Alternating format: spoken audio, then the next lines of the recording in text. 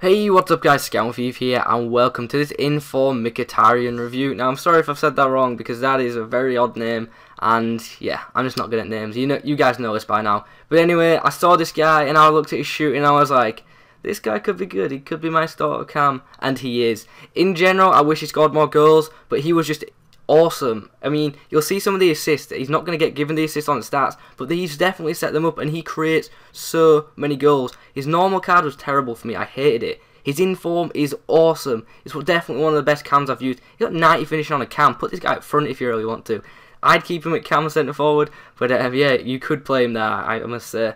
And he's very strong on the ball, which is awesome. Not the tallest, as you can see, 5 foot 10, but 4 star weak foot, 4 star skills, high medium. He's one of the best attackers. I love this guy. Paid 117k for him, so he is quite pricey. Hopefully he like settle around the 100, maybe a bit lower mark. But um, yeah, he is a very, very good cam. Let's get into some clips because this guy was awesome. I managed to do this again. This little, I don't, I don't know what it is, it's like early goal thing. It's like long shot. Look at that, straight past Machete. And Machete is not an easy keeper to beat, let's be honest. I've struggled against him in the past, but what a goal that was from Mkhitaryan.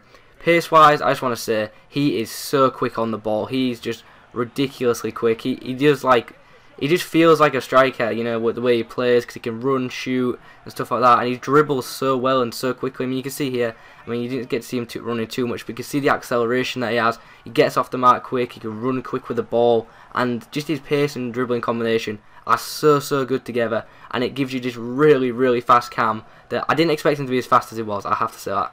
Another thing, set pieces. He's got the stats for them, he's got the corners, and he will uh, set up goals from them shooting wise. Now, shooting wise, I love cams that can shoot, which is why I love this guy, because he can finish, he can shoot from distance, he can do it all for shooting for me. He's one of my favourite cams on the game just because look at that. Absolute screamer, smashing the bar and hitting the back of the net. Ridiculously good shot on this guy.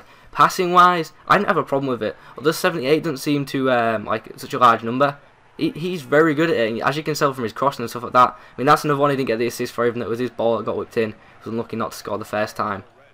But look at him in position, in the right position, finishes really well past Machete. So uh, yeah, he's just a brilliant player. And as I said, I, if you're going to ask me, can you play him a striker? I feel you could. I'm not going to try him out there personally because I think his destination would definitely be Cam. But I feel he could uh, fit in well there. And if you guys try him at striker, then let me know how you get on with him. But guys, if you guys try this guy out at all, Mkhitaryan, let me know how you get on with him because for me, he was a beast and definitely worth the coins. Love this guy. Perfect for these Bundesliga sweat teams as well. So uh, yeah, brilliant. Thanks for watching, guys. Leave a like. Let me know what you want me to review this week's team of the week. I'll be doing Pabon next, and uh, was it Pabon? No, it's Ramos. Sorry.